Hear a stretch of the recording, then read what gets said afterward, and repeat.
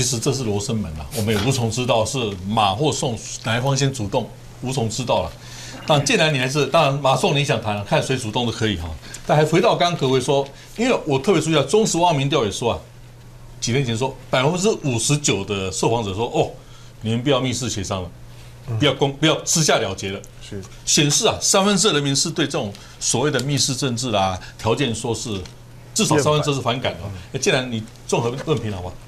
其实任何事情呢，协商可以秘密，只是结果要公开。你哪个协商可以公开结协商的？不可能的事情嘛。你一个家，你父母在讨论一件事情，不让孩子知道，不让老人家知道，一定也是先秘密谈再公开嘛，对不对？所以这个东西是啊，我但是我但我并不表示我认为他们会协商，我认为现在已经是决定打了。啊，我过去是说一直在等待机会的，但是我现在说这场仗打了哈。那另外就是说啊，这个谁约谁见面哈，我想那个到刚刚辉文跟那个伟哲两个讲的都没有错了哈。啊，只是时间点哈。张辉叫迟来的正义不是正义了。迟来的这迟来的诚意只有诡异了，好，所以后来的诚意要见你，那中间是有那个啊。那至于这吴敦义昨天那个那节目内容我没什么看了，看了，但是因为他写诗，我也很想写诗了哈，我就以他那一句也做个诗了哈。他叫守得云守得云开见月明哈。我跟你讲，这故作友善达温情呢，月下暗箭最无情呢，不如小日现光明。我这什么意思呢？我们练武的都知道，我们练武的是暗中练拳，是月下练剑。为什么月下练？月下的剑是最狠，那暗中练拳是听声辨位的哈。我们从小都都是没有月亮就是打拳，有月亮就是练剑，好，一定是这样。所以呢，他搞这个月，我的意思说，啊，月下的暗箭是最无情的，不如呢，那云开的话，云云，我们在云打开的时候，如果是晚上，云开月亮出来，那个那个晚上不会下雨。那如果早上云开太阳出来，那天一定天晴。所以我的意思说，现在大家就天晴，打开光明了，大家好好光明的竞争。不要再再再再弄些事，那个门也不要开了，哈，就是就是大家就光明的竞争，公平的竞争，最后让让所有选民呢很聪明的做一个抉择，好，这样子会会比较好啊。至于说生孩子认名，我告诉你，生这个孩子绝对轮不到吴敦义去命名了，啊，他也啊，假如就算他们孩子生了啊当选了啊，那是那是总统的职权，不是副总统的职权，副总统只是备位了哈。那副总统啊，如果这总统如果问他，还不如问后面一个人呢。啊，到行政院长给谁啊？也轮不到他了哈。不过这句话倒想到江湖一句打油话了哈。啊，肚子大了才提亲呢，孩子生了才命名呢。啊，那个把人打了再喊停呢。这个都没有道理。哦，你是说你意有所指哦？以前叫那个人，现在日本记者说那个危险的人。这个我我不我不做评论。日本记者这样说嘛哈。我我再引述一下哈，就说其实马宋之前是有电话的哈，说就说。昨天吴奎透露，姻缘还没具足，什么啊？这个月名我不谈。他说，事实上马打过电话给宋哦，结果来把他强化一下，请接宋楚瑜，就应该是魏志忠了。我推估应该魏志忠了哈。宋幕僚，他出去运动，从此没再回来。换换句话说啊，至少双方想热线联络啊。我觉得没有互信哈。我相信季新吉这样说，季新吉有谈谈判，他说啊，谈判。就如求婚了，嗯，过程要求其隐秘，成果要大肆宣扬了。哦，这是我想，我不知道是不是吴奎看到这个季先吉的回忆录，我看到这一段了啊。哎，不管怎么样，谈判也罢，协商也罢，或接电话也罢，你是旁观者，东豪什么想法？其实啊，因为吴奎他昨天讲那个“守得云开见月明”啊，呃，《水浒传》前面还有一句话，叫做“同心千载，痴心盼”。语出《水浒传》了。他他有他有不同的。古时候很多人都用用过这句话哈，我《水浒传》里面前面是“同心千载，痴心盼”，你要先同心啊。马宋两个人看不出他有同心的时候啊，你要党心嘛哈。那其实昨天吴奎讲这个话，基本上我觉得就像岳母云前面这个讲说，希望宋先生那个回到这个不分区第一名，那都是在制造一个气氛。可这个气氛是不是一定拉得回来？我想大多数的人是是看得很悲观的。大概是不已经是各走各的路了哈。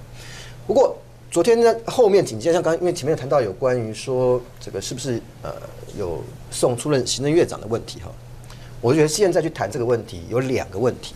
第一个不是密室，那是分赃，那就变成分赃了哈，在分位置，这个观感上是非常不好的。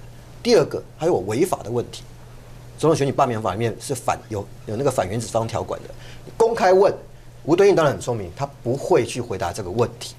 幕后还在穿梭的，如果也是用条件、用这样子的位置来做一个交换的话，那对台湾的民主政治是退步的。宋先生可不可以退？可以退，只要他愿意。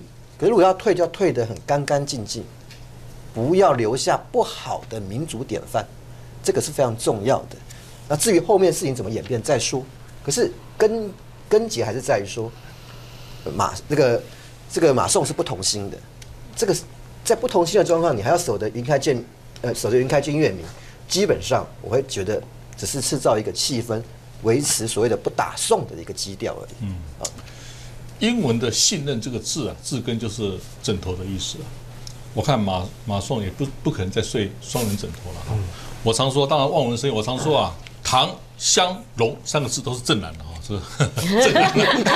对，哎，曾国藩湘湘也是捍卫中国中国文化，打败洪洪秀全嘛，湘也是哦，这三个正南哈湘。军啊请正南人士讲述一下哈。其实楚跟楚跟香是同一个意思，楚就是香，哦宋楚瑜的楚就是香的意思。怪不得说楚人多智。哦对，所以宋楚瑜楚就说就说楚虽三户，亡秦必楚，也就是那个意思，就是就香的意思吧。好，但是因为昨天吴敦义的吴敦义讲话，我我我觉得吴敦义昨天谈到宋的时候，他的他的敏感度跟警觉性是够的啦。就是说在这个议题上面来讲，他没有留下画笔，没有没有犯错，因为昨天那个场合，他他不能够做太太积极的解读。呃，毕竟老像现在在在在选前，如果他他昨天顺着媒体的话讲说，OK 啊，国国民党非常愿意啊，安安排宋楚瑜当当阁魁，我想宋楚瑜一定强烈反反弹。你亲民党在那个时候一听到这话，绝对强强烈反弹，绝对觉得你又在吃我豆豆腐，你又在意图伤害亲民党的一些选情。这个时候，你任何的任何的暗示，就是说我可以授予什么，然后呢，然后呢，我们双方面能合作，对亲民党来讲，绝对是一种这个侮辱跟伤害。你连玉木明亮的讲话，宋楚瑜都都都这样子，就是那种反应都这么的激烈了，可想而知。何况刚刚也提到了，就算选后这种事情，也轮不到你吴敦义讲。阁阁魁呢，哪里是你吴敦义能决定的？当你当了副手之后，你就安静了。吴敦义呢？吴敦义的，如果他能够跟马英九搭配而连任成功，吴敦义接下去的四年只能够想二零一六以后的事了。基本上面，二零一二到二零一四这段期间，他必须要保持沉默，基本上没有什么公开发言的余地。阁阁魁谁谁决定？当然是当选人决决定嘛。马英九当选，当然是马英九决决定嘛。那如果话又说回来，如果马英九真的能够接受宋楚瑜当阁魁的话，过去三年就不需要搞到这个样子嘛。所以你可以从过去三年多的情况来看，未来未来如果马英九在当选，未来四年，我也不认为以马英九的个性来讲，过去三年他不做的事情，未来四年他会做，没有那样的可可能性。我们再讲白一点，如果说马英九真的有可能让宋楚瑜当阁魁的话，今天在阁魁那个位上面就不会是吴敦吴敦义了，就不会是吴敦义了。可能可能早在早在刘兆玄之前或者刘兆玄之后的话，宋楚瑜都已经上来。宋楚瑜最想上来的时候，其实也就是八八风灾之后那段时时间嘛。那个时候，你想在在国在蓝军的内部，在国民党里面有多少人都在讲说，那既然八八风灾这种救灾的事事情，你的你的好朋友刘兆玄都因此而下台了，就让宋楚瑜上来吧。那个时候的声音是最最强烈，在那个时候他都没有用宋楚瑜，而让吴敦义接下了这个关键性的位置。你想可能吗？不可能嘛！吴敦义当然也心知肚肚明嘛。固然他跟宋楚瑜在过去在一个反理的基础上的上面，那个时候国民党我们在跑新闻的时候，我们当然知道宋楚瑜跟跟吴敦义不能说眉来眼去了，大家在在在寻求一个宋楚瑜被打入冷宫之后。反理系统的一个一个比较重要的结盟，那个结盟的成不成功，确实对二零零的选举是有关键的影响的。在当时，他虽然没有点头答应，吴吴敦义有的时候面对关键选择的时候，他是很犹豫的。所以吴敦义在当时他没有他没有答应，某种程度上面来讲，你甚至可以说，在二零零零年的时候，宋楚瑜寻找副手一路颠簸，最后找到张张张昭雄，为为什么？因为吴敦义没有没有答应嘛。吴敦义如果答应，也许那时候选局就不同。但是不管怎么样，在当时他跟宋楚瑜之之间有某种的革命情感，那有某种对未来政治的共同的想法。我认为这种情感跟想法，即使到今天没有什么太大的改变。吴敦义如果能够扮演，他既是马英九的副手，同时又是宋楚瑜的旧友，在居中让彼此之间对未来的关系都能够有一些正面的想象，我觉得吴敦义功能就就达到了。不要讲太多。即使如此，非常困难哈。